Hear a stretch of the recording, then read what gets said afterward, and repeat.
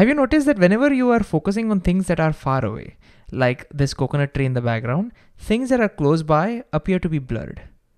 But if you focus on the things that are close by, like this doll over here, then the background becomes blurred. Why does that happen? It happens because of something called accommodation. Let's see how that works. Here's a schematic of your eyeball. These are the ciliary muscles and imagine right now your ciliary muscles are relaxed and your eye lens is very thin. So in this case, when you're looking at things that are far away, look, the amount of bending needed to bring these rays to focus on your retina is not much. You don't need a lot of power to bend these rays and to focus these rays. And therefore, when you're uh, when you're looking at things that are far away, your eyes are nicely relaxed. Now let's see what happens when this relaxed eye is looking at things that are close by. So here it is, it's relaxed eye.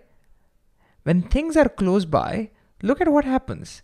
What I've made sure is the bending here and the bending here is exactly the same. I've bent these rays by the exact same amount that I've bent over here.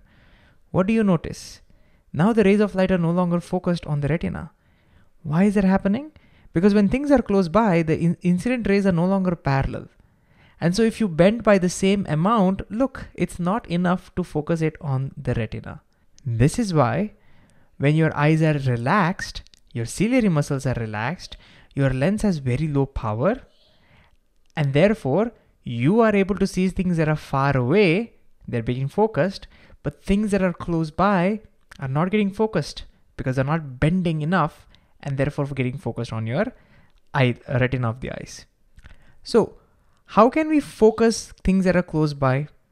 Well, we need to have more bending power. We need to increase the power of your lens. How to do that?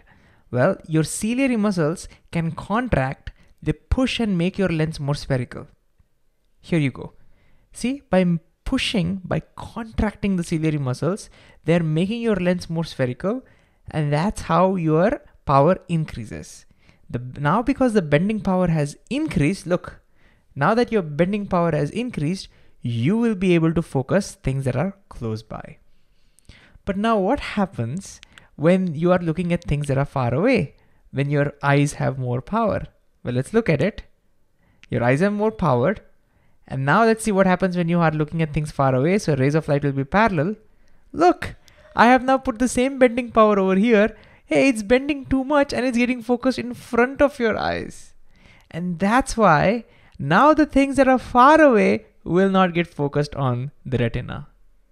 So what's happening is that because your bending power is very high, because your ciliary muscles have contracted, you're able to th see things that are close by, but with things that are far away, it appears very blurred. You will not be able to focus on it.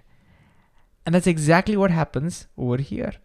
Very high power, you're able to see it, but because of the same high power, the rays of light are getting focused in front of the retina and therefore it gets blurred. And what's important is that you don't have to memorize this. Logically, if you think about it, you'll understand it. When you're looking at things far away, you need low power, eyes are relaxed. When you're thinking, looking at things that are close by, you need to increase the power of your lens and therefore your uh, eyes are, your ciliary muscles are contracted, your eyes are actually a little stressed. But the last thing is that the closer the object comes, more power you need. But there is a limit to how high your power can go, right? There's a limit to that. For the normal eye, that limit is roughly around 25 centimeters. Turns out if you bring the object closer than 25 centimeters, your eyes will get too stressed. You will not be able to increase that power too much. And so this point where your eyes has a limit, they cannot increase the power anymore is called the near point of your eye. And we usually represent it with D. So for human beings, we usually consider the near point to be around 25 centimeter. It's not exact. It'll depend from people to people. But this means if objects are farther away from 25 centimeters, you can still accommodate, your eyes can accommodate and you can see it. But if objects are closer than 25 centimeters, then your eyes will not be able to accommodate. It will not be able to increase the power anymore. And that's basically what accommodation is ability to change the power, accommodate the power depending upon how far or how close the objects are.